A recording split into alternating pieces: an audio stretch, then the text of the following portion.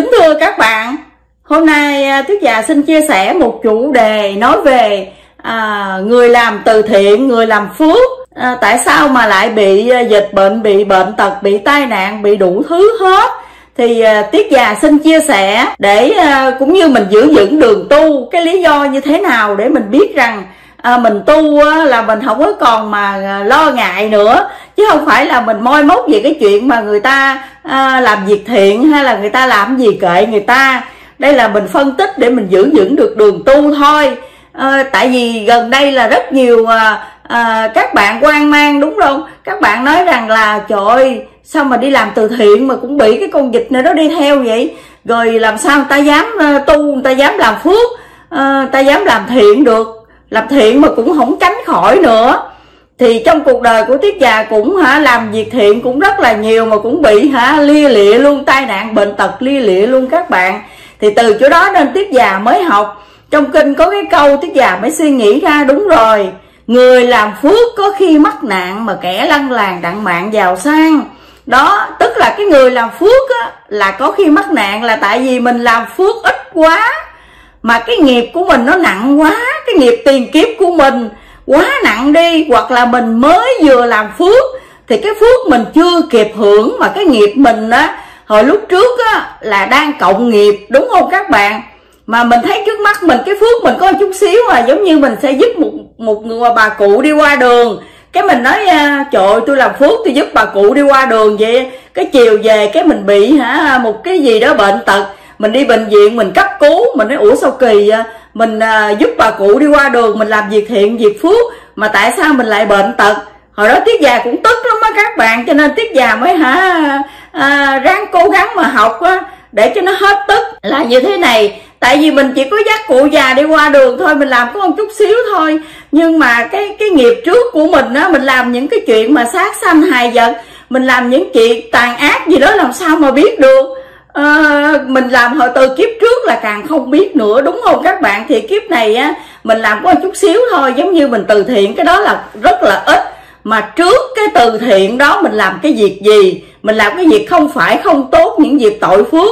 Thì á, ngày hôm nay á, là mình nhận lãnh á, những cái sự mà bệnh tật những cái sự ốm đau à, những cái sự tan thương á là mình mình lãnh là mình nhận lãnh mình trả cho cái nghiệp trước chứ không phải là mình trả cho cái việc từ thiện này. Cái việc từ thiện này cái việc làm phước này không liên quan đến cái chuyện mà mình à, mình phải hả trả nghiệp trả gì hết. Làm phước mà làm gì mà trả nghiệp? Các bạn làm phước là hết nghiệp. Mà tại vì mình làm ít quá mình làm không kịp mà mình làm có một chút xíu thôi. Rồi mình tạo nghiệp quá nhiều luôn giống như mình tạo nghiệp chồng chất. Mà mình à, mình làm phước có một chút à, xỉu xìu siêu rồi làm sao mà mà à, mình à, cân bằng được cái nghiệp của mình? Đó hồi xưa tiết già cũng tức lắm. Tiết già nói chỗ sao mà mình càng làm phước là là là, là mình càng lại ờ, bị hả? Những cái chuyện mà nó ập tới hả? À, tai nạn rồi bệnh tật rồi thị phi rồi đủ thứ hết. Đó là ý tiết già chia sẻ để à, giống như mình tu để cho mình giữ vững đường tu mình không có ngại. Để thôi nhiều khi mình nói trời à, sao càng tu càng khổ? À, càng làm việc thiện càng dịch bệnh nó tới càng à, không có thấy phước ở đâu hết mà thấy đau khổ. Là tại vì mình quá tạo nghiệp quá nhiều. Nó mình tạo nghiệp quá nhiều rồi cái phước này nó không có đủ. Nó không có đủ cân bằng lại là mình phải chịu trả thôi các bạn.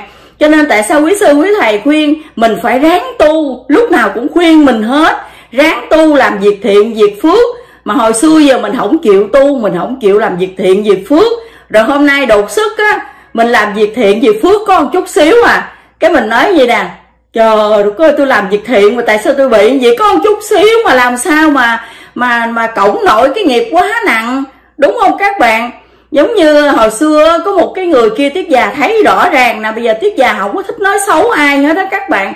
À, tiết già phân tích để giống như là à, tiết già và các bạn giữ vững đường tu mà không có sợ một cái gì hết không có quan mang. Tức là như thế này cái bà kia hoặc là cái anh kia đi hen. Mà tiết già thấy luôn nha. À, giống như là đạt của anh ta cướp của anh ta. Rồi cướp của anh ta rất là nhiều gì đó. Cũng như là mình nói với tỷ đi tiền ngày xưa là cướp của như là 10 triệu đi hen. 10 triệu xưa lớn lắm. Cái xong cái thì cái người cướp của này tiếng già thấy rõ ràng luôn nha. Người ta đem cái số tiền vô cúng chùa. Đó rồi người ta đem số, số tiền vô cúng chùa giống như là người ta cướp 10 triệu mà người ta cúng nửa triệu một triệu. Rồi còn 9 triệu cái người ta bỏ túi đó xong xuôi đàng hoàng, cái ờ, cái mai mốt ta đem vô nửa triệu, một triệu nữa. Và đem biết chừng nào mới hết cái tiền 10 triệu đó, thì 10 triệu mình cướp này là mình nhận lãnh cái hậu quả này. Còn mình cúng đó là mình ờ, mình làm việc thiện đó, mà một triệu, hai triệu là mình được phước đó. Thì các bạn trừ ra đi, cái này mình cướp 10 triệu mà mình đi làm phước có một triệu, rồi còn 9 triệu ra 9 triệu kia rồi ai tính cho mình, ai tính phước cho mình. Đúng không các bạn? Thì cái đó cái dịch bệnh á, nó phải ập tới thôi. Từ vì duyên xưa kiếp cũ của mình đó cái tiền kiếp của mình á, nó cộng lại thì mình phải hả chấp nhận thôi. Đây là tiết già chia sẻ để các bạn đừng có hoang mang. Giống như nói sợ càng tu càng khổ à, làm việc thiện làm việc phước mà không tránh nổi con dịch rồi lo lắng hoang mang. Mình cứ giữ vững cái niềm tin của mình mình làm đúng làm phải rồi mình cứ tích phước tu nhân một ngày một ít mình cũng không cần làm gì cho nó danh dự danh vọng gì hết. Giống như à, mình làm phước trong tâm của mình à, mình gom những cái phước nhỏ của mình mà mình tích dần dần nó sẽ thành cái phước lớn. Chứ mình cũng không có cần mà mình làm phước mà giống như là để người ta ghi mình lên một cái bảng vàng hay tên tuổi mình nó nó quan quan ở trên báo chí hay là đài hay là tất cả những gì mà danh dự hay ta phát cho mình cái bằng khen hết trơn á. Tự vì mình làm phước á, là mình để tạo phước cho mình đó, để mình hưởng được cái cuộc đời hạnh phúc của riêng mình chứ không phải là à, mình làm phước để mình có được cái bản khen đó. À, để mình đối với cho người ta nhìn mình ta thấy cũng như là ta nể phục mình vậy đó. Thì cái đó là cái đó là gọi là giống như là à, cái cái áo mão ta gọi là cái áo mão đi nha bên ngoài cái sự hào nhoáng bên ngoài. Chứ không có cần cái sự đó là không có cần à, giống như người tu thật sự á, là người ta chỉ có đi thẳng một đường tu thôi. Chứ không có ai mà giống như là phải nói à, à, tôi tu nay được 15 năm 20 năm mà tôi tu nhiều lắm tôi tu hơn người này người kia à, hơn người nọ. Chiếc già cũng không biết chiếc già tu hồi nào mà tu được bao nhiêu nữa. Nói thật chứ các bạn cứ ráng cố gắng à, làm kiếm chấm cơm ăn. Rồi à, rảnh ra thì à, niệm phật ăn chay làm lành và suy nghĩ mình làm việc gì tốt lành thôi chứ không biết mình làm được nhiêu hay cận nhiêu gì hết. Nếu mình làm được nhiêu cận nhiêu á thì cái đó là ơn trên nhìn thấy là biết mình hết. Để phán xét cho mình chứ cũng không cần mình đếm đông đo làm chi đúng không các bạn? Nói ừ tôi đi 10 là cũng như là à, đi à, 10 10 à, chỗ việc thiện trăm chỗ phước gì đó. Đúng không các bạn? Cũng không cần gì. Đó còn cái chuyện mà giống như à, những bạn mà người ta làm mà việc thiện việc phước gì đó à, để người ta báo cáo lên cộng đồng thì cái chuyện đó khác nữa. Cái chuyện đó là người ta làm cũng đúng thôi. Tự vì người ta cần phải báo cáo lên cộng đồng chứ không phải là người ta cũng cần gì đâu. Là mấy bạn đó làm cũng đúng đúng không? Còn nhiều bạn mà làm sai á thì cái đó là gán chịu thôi. Làm sai và thường thường làm sai cái chuyện sai á là các bạn không có thấy đâu. Nói thật luôn. Thường thường á mà cái người làm sai á không bao giờ để cho mình thấy người ta đã đã cố cố tình làm sai á, là người ta sẽ làm những cái chuyện mà nó khuất ở trong á, các bạn, làm sao mình thấy được. Đó tiết già chia sẻ để các bạn giữ vững cái đường tu, để các bạn đừng có sợ sệt một cái gì hết. Đừng có nghĩ rằng mình làm việc thiện, việc phước hay là mình tu mà mình à, không tránh nổi con dịch này. Mình chỉ cần có cái tâm tránh thôi là mình đủ tránh được con dịch rồi. Tự vì thường thường á, tà nó rất là sợ tránh những cái bóng tối những cái ma đen nó rất sợ ánh sáng của Phật pháp. Mà khi người tu hành mà đủ uh, duyên đủ phước rồi tu mà tu thật đàng hoàng rồi khi tỏ được cái ánh sáng mà mà giống như là những cái uh, ma quỷ những cái bên ngoài á, tà gian bên ngoài nó nhìn thấy mình là nó sẽ tránh ngay thôi. Chứ không có cần mà mình phải giải thích đúng không các bạn? Cũng như video tiết già chia sẻ cho các bạn là để cũng như là tiết già và các bạn cùng nhau để tu hành và giữ vững. Chứ không phải là mình à, chỉ kích người ta tiết già không có thích chỉ kích ai hết ai làm sao kệ người ta.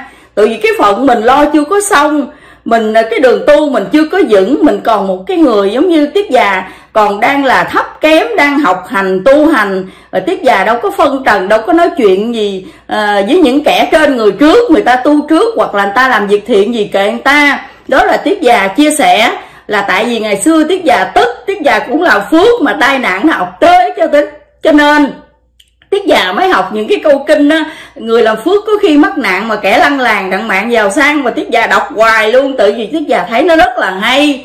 Đó ấy là nợ trước còn mang duyên kia chưa dứt còn đang thưởng đền.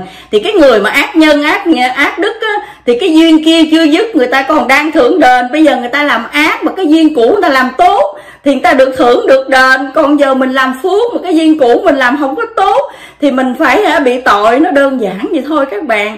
À, video tiết già chia sẻ à, để các bạn giữ vững đường tu cùng với tiết già nha. Không có ngăn không có quan mang lo lắng gì hết à, video tiết già chia sẻ đến đây kết thúc. Xin chân thành cảm ơn các bạn rất nhiều. Hẹn các bạn gặp lại video tiếp theo.